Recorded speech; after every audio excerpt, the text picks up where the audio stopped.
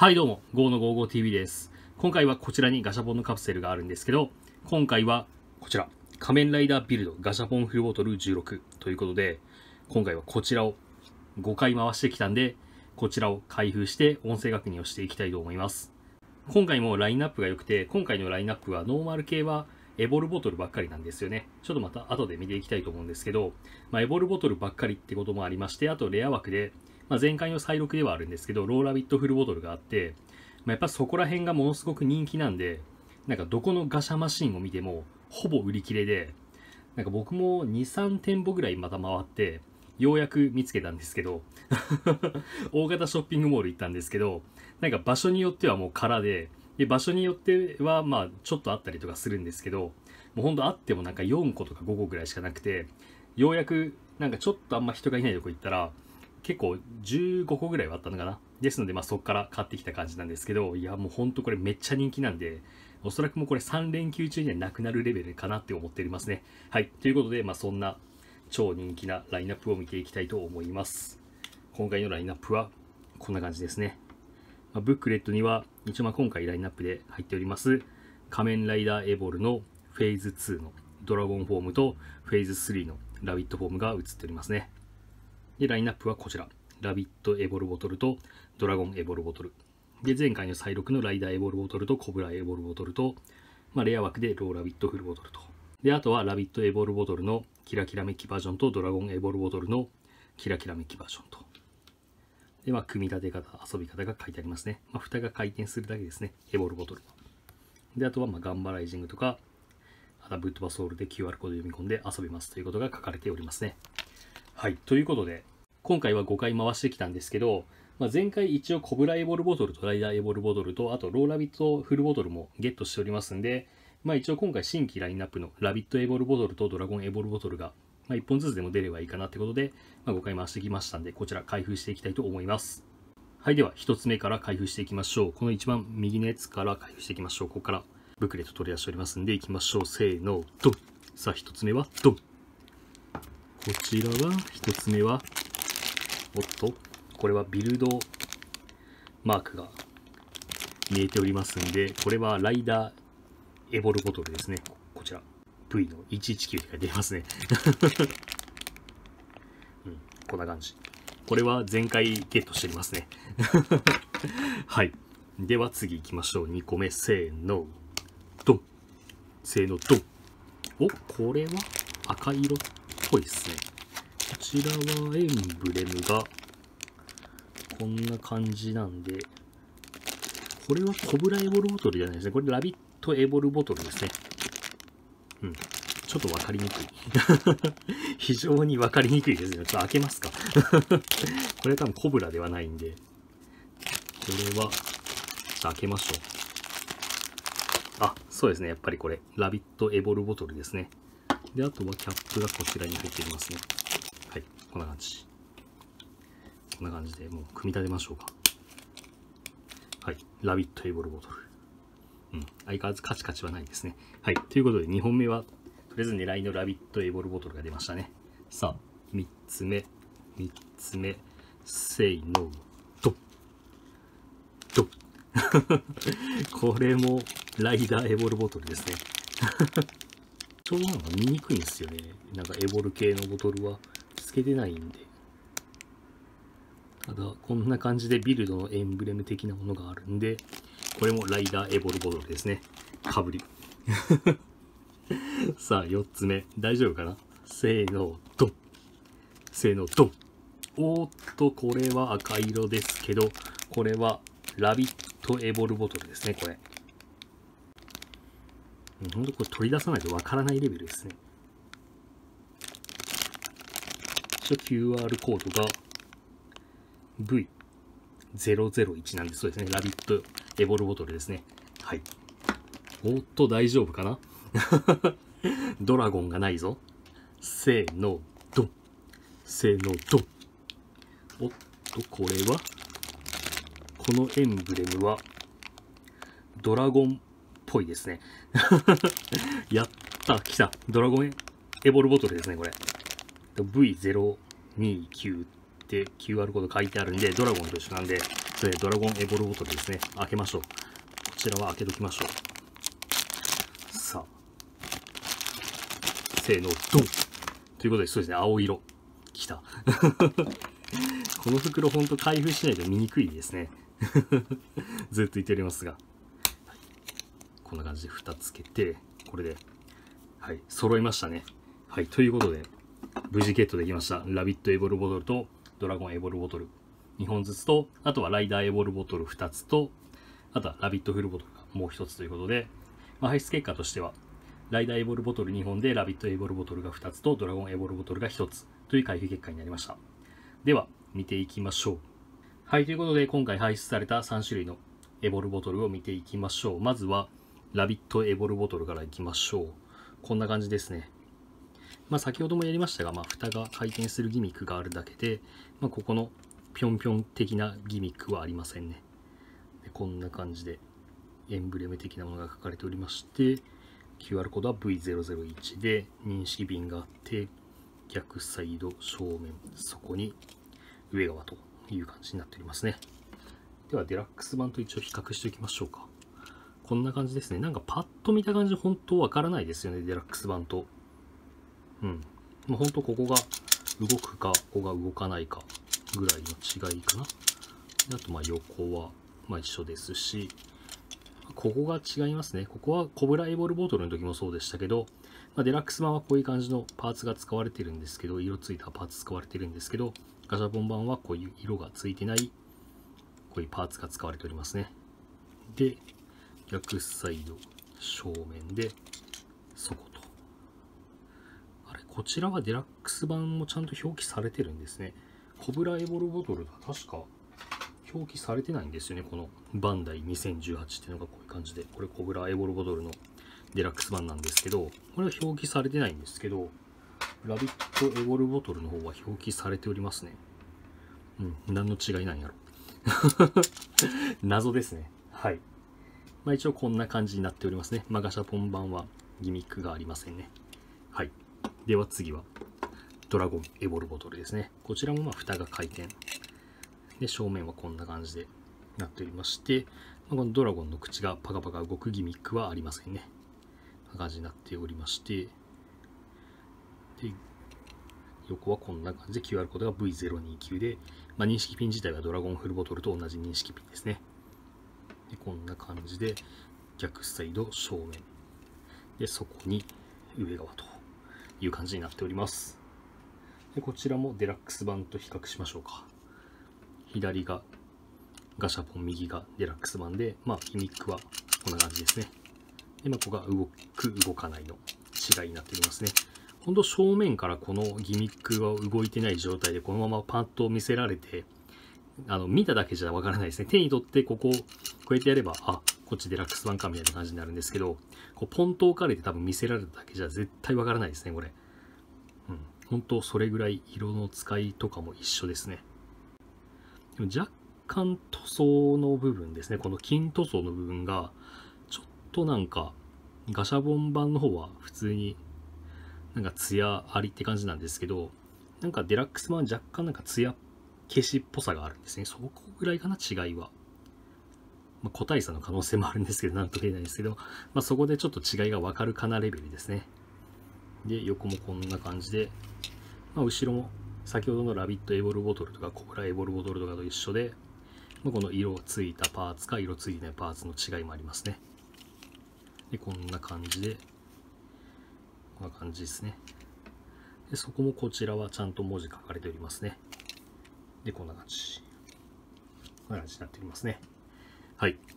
では次は、ライダーエボルボトルですね。まあ、これは前回結構がっつり見ておりますんで、まあ、パパッと見ていきたいと思いますが、まあ、この塗装がちょっと濃いんですよね。他のデラックス版とか食玩版に比べると。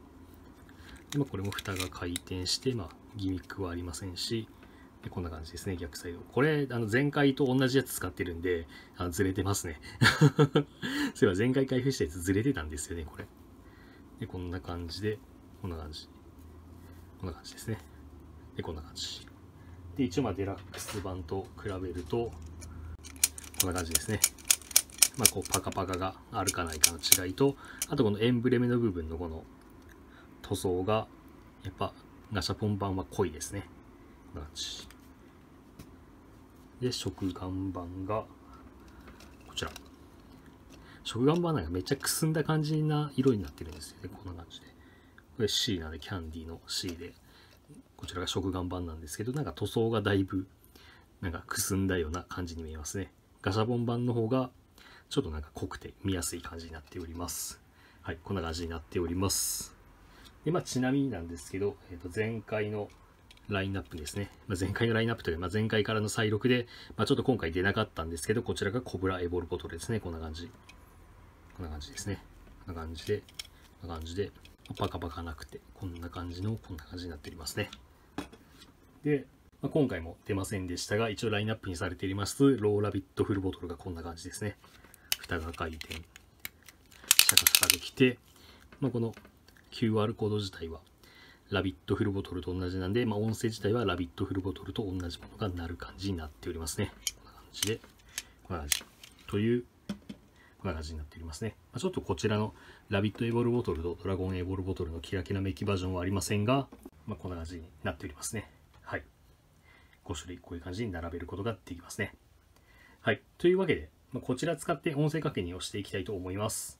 はい、エボルドライバーを準備しましたんで、早速仮面ライダーエボルのフェーズ1からフェーズ3までに変身していきたいと思います。まあ、一応コブラフルボトルは今回排出はありませんでしたけど、まあ、一応ラインナップということで音声は確認していきたいと思います。では、行きましょう。エボルドライバーということで、じゃあフェーズ1のコブラフォームから行きましょうか。では、言います。コブラ。ライダーシステムエボリューションでは行きましょう。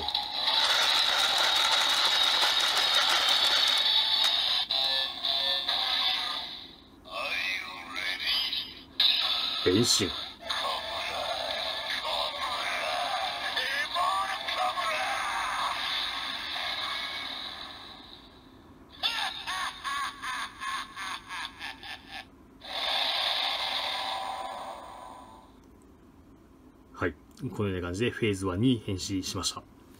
いや、いいですね。まあ、必殺技は一応一番最後にやりたいと思いますんで、次はフェーズ2行きましょうか。フェーズ2、ドラゴン。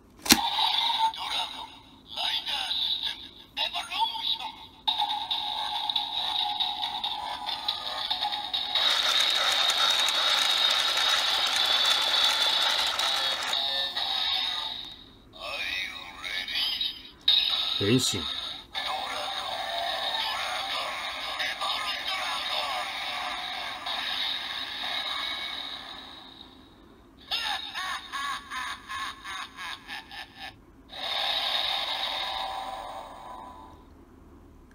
はい、これで仮面ライダーエボルのフェーズ2のドラゴンフォームに変身いたしました。では次は、こちらですね、フェーズ3いきましょうか。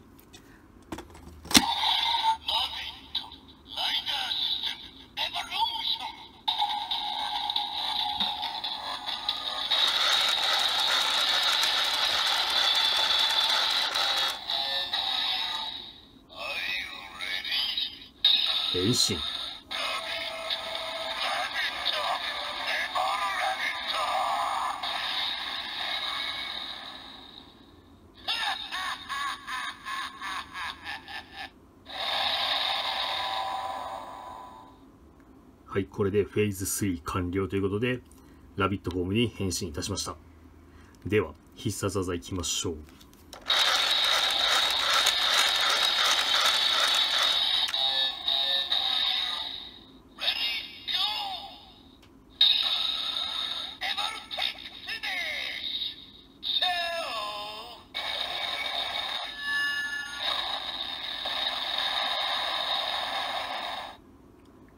はい。必殺技はエボルテックフィニッシュチャウっていう音声が流れますね。で、まあ、あの、ちなみになんですけど、まあ一応こちらのローラビットフルボトルを使っても、フェーズ3に変身することができますね。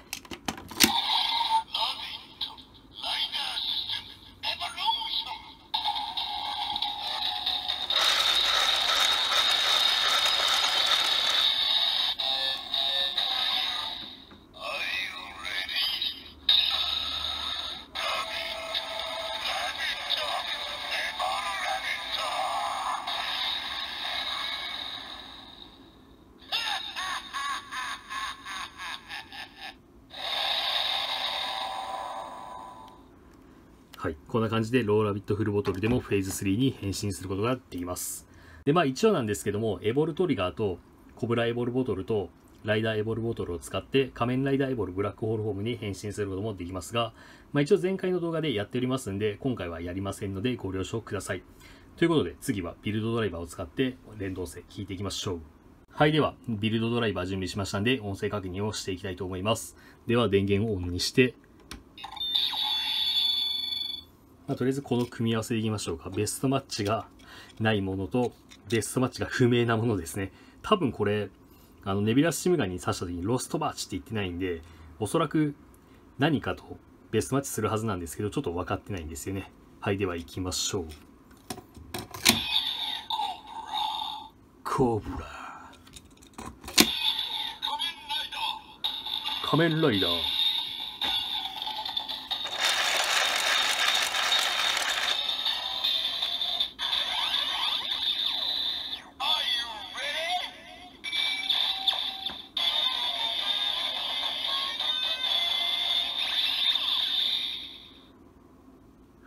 こんな感じでベストマッチではないんでトライアルフォームの変身音が流れますねでは必殺技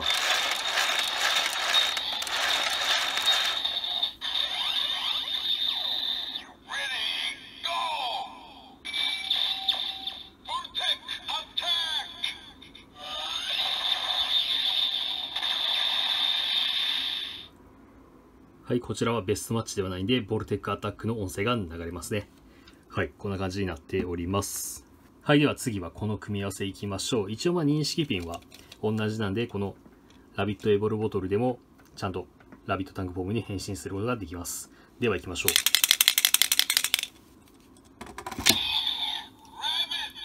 う。ラビット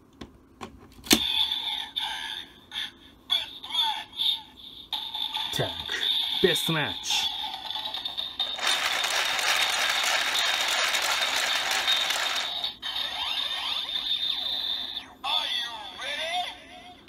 変身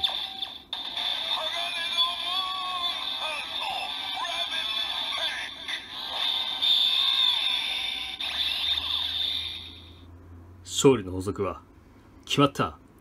はいということで仮面ライダービルドの基本フォームでありますラビットタンクフォームに変身することもできますね。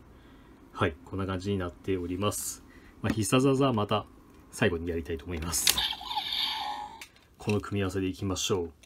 ドラゴンエボルボトルとロックフルボトル。いきましょうか。では。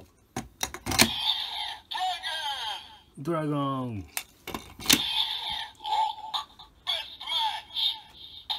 ロック。ベストマッチ。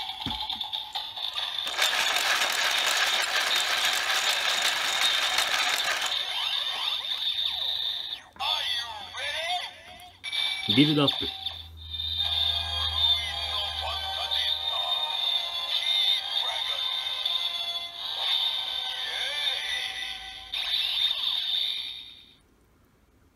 はい、こんな感じでキードラゴンフォームに変身することもできますね。はい、では最後は、最後の締めは、これでいきましょうか。こちら、ローラビットフルボトルとタンクフルボトルで、ラビットタンクフォームに変身して戻りましょうか。ラビットタンクベストマッチ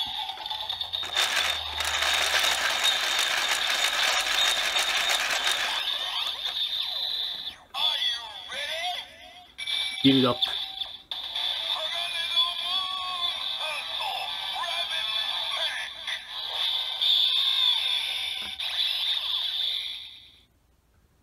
はい。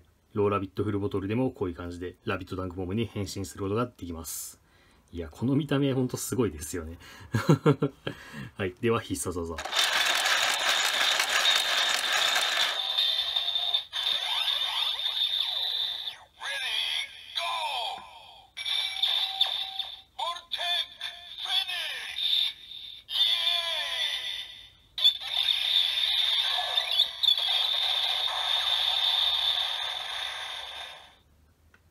はい。必殺技はベストマッチなんで、ボルテックフィニッシュの音声が流れます。はい。音声確認は以上です。はい、ということで今回は仮面ライダービルドフルボトルシリーズガシャポンフルボトル16を5回回してきたんで、開封と音声確認をして遊んでまいりました。いやもう本当に今回のこのガシャポンフルボトル16のラインナップは素晴らしいですね。ノーマル版で4種のエボルボトルと、あとはまあレアでローラビットフルボトルと、あとはラビットエボルボトルと、ドラゴンエボルボトルのキラキラメッキバージョンということで、いや、これは本当に売り切れになる理由がわかりますね。はい。いや、もう本当に豪華ですね。いろんな音声遊びできますし、まあ、ちょっと今回やってないんですけど、コブラエボルボトルに関しては、トランスチームガンに刺しても、ブラッドスタックに変身することもできますんで、音声遊びとしては本当に幅広く遊ぶことができますんで、いやもう本当これは買った方がいいですよ。見つけたら絶対買った方がいいと思います。本当ラビットエボルボトルとドラゴンエボルボトルのセットなんかは、本当僕発売日以来デラックス版見てないですからね。もう本当それレベルなんで、まあ、そういうこともあってかわからないですけど、本当人気なんで、このガシャポンフルボトル16は。ですので、まあ、見つけた際は1回でも2回でも回してみるのはいいんじゃないかなと個人的には思っております。で、まだちょっとわからないんですけど、もしかしたらこのガシャポンフルボトル16が、ビルドのフルボトルのガシャポンは最後になるかもしれないんですよね。ですので、まあ、来月また登場すれば、ちょっと回していきたいなと思うんですけど、もしかしたらこの段が最後になる可能性もありますんで、いやー、フルボトル集めもいろいろ大変でしたね。ガシャポンフルボトルもなんだかんで結構回したのが多分一番回したで15回ぐらい回したのかな。っていう、まあそういう思い出なんかもありますんで、またガシャポンフルボトル17が出れば回してきて動画作っていきたいなと思っておりますんで、また出ればよろしくお願いいたします。では、今回もご視聴ありがとうございました。